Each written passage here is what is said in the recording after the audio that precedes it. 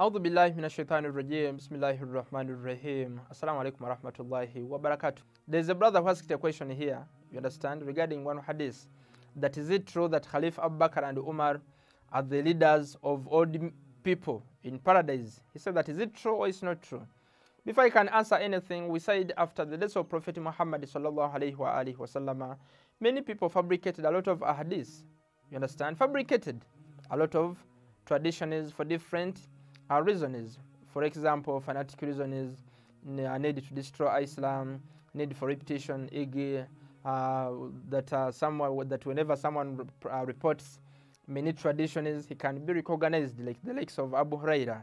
Then, uh, like a need for economic factors, like hadith that, however, buys some onions from a given city, enters paradise, and others. All those traditions we say we saw that they are fake, you understand, and they are not reliable.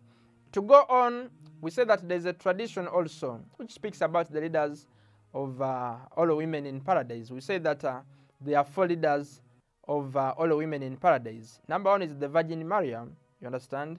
Number two, Asiya binti Muzakham, uh, Khadija, and Fatima to Zahra, alayha salam, in uh, a book called Mustadrak al-Hakim, uh, volume 4, page number 262. Then this hadith that uh, Khalif Abu Bakr and Umar, that they are the leaders of all the people in paradise, you can find it in uh, Fadail al-Sahaba by Ahmad ibn Hanbali. You understand?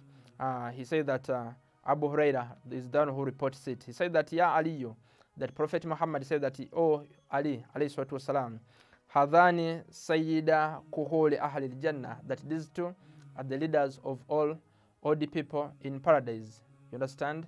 Uh, the question is, do we have any verse which say that uh, the people in paradise will be old? You understand that they will be in old age.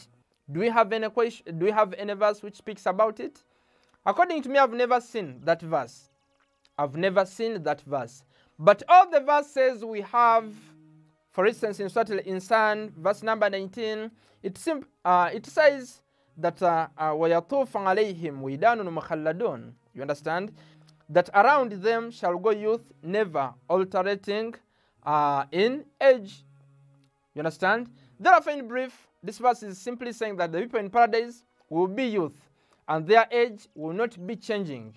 They will not be, they, uh, they will not be becoming old and others. Therefore, also in Aswat Swat, verse number 52, it speaks about the same thing. Therefore, in brief, brother, as we said, we have got a lot of fake traditions.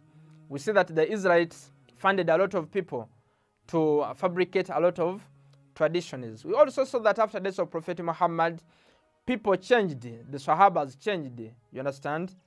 They changed for selfish interest. They changed due to selfish interest, you understand? So some of them ended up fabricating a hadith and others. And uh, the right tradition says, the authentic tradition says that Imam al-Hassan wal Hussein, Sayyid al-Shabab, Ahlil Jannah. Imam al-Hassan and Hussein, they are the leaders of all people in paradise. You understand? Therefore, what I'm trying to say, all people in paradise will be youth. You understand? And uh, this, and we say that when a hadith matches with Holy Quran, we take it. And once uh, it does not move, it contradicts with Holy Quran, we leave it. Like that tradition which said that uh, Khalif Abu Bakr and Umar are the leaders of all the people in paradise. We, we have seen using Holy Quran that in paradise we shall not be having all the people in paradise. All of them will be youth. You understand? Therefore, in brief, that's it briefly. Brothers and sisters, kindly keep sharing up to last person. Wassalamu alaikum wa rahmatullahi wa barakatuhu. Mm-hmm. Mm-hmm. Mm-hmm.